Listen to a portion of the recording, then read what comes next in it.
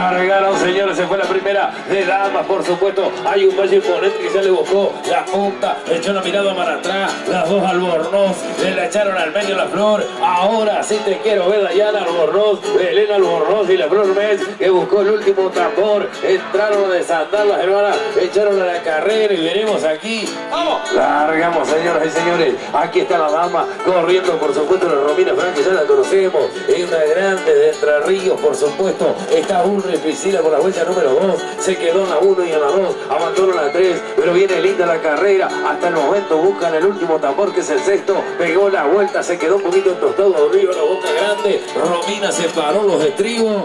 Ahora sí le dieron la largada, claro que sí. Se fueron a buscar los tambores. El 1, el 2 y el 3. Vamos a ver qué es lo que pasa cuando lleguen a la punta. Buscando el último tambor para venirse mandando nuevamente. Buscando la última huella. Perdió la boina, pero no la estampa. El de la huella número 1. Es el Andana García, de Ayana Díaz y a Laura Fernández. Echaron a la carrera. Carrerón que corrió. Largaron, sí. Ahí está. Se fue Luciana por la huella número 1.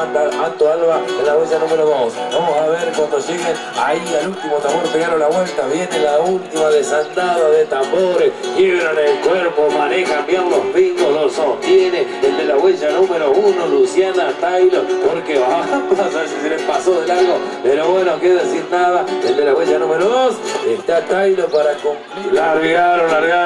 Ahí estamos en la Santa Fecina, la Entrerriana, el pago de María Grande. Está la niña con la tostada imponente. Pegaron la vuelta. Abrita gorda que abre bien eh, maneja por supuesto esa hermosa montada que de aquí de los palos de Crespo. La conozco a esa hermosa tostada, pero bueno, Ámbar también termina su recorrido y acá vemos que la ganadora Largaron nomás, che. Acá es semifinal. A jugarse el todo por el todo. Vamos a ver cuando lleguen a la punta. Pegaron la vuelta. Se afirmaron los garrones, los pingos. Y estamos para desatar los tambores cuando tomó la punta. El de la huella número 3. La de la huella número 3. Uno y dos.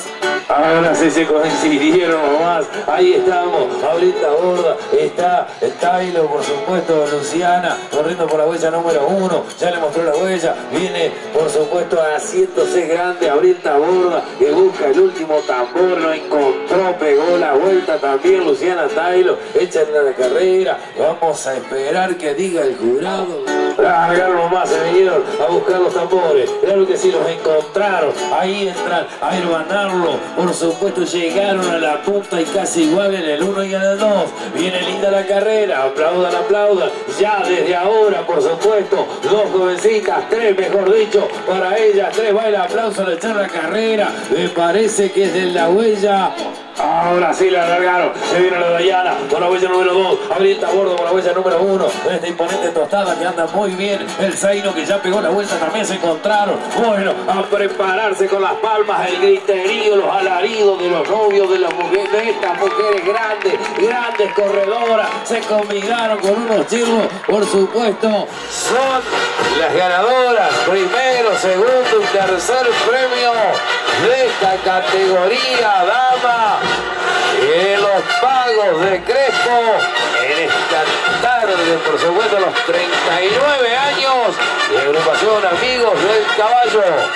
¡Felicitaciones!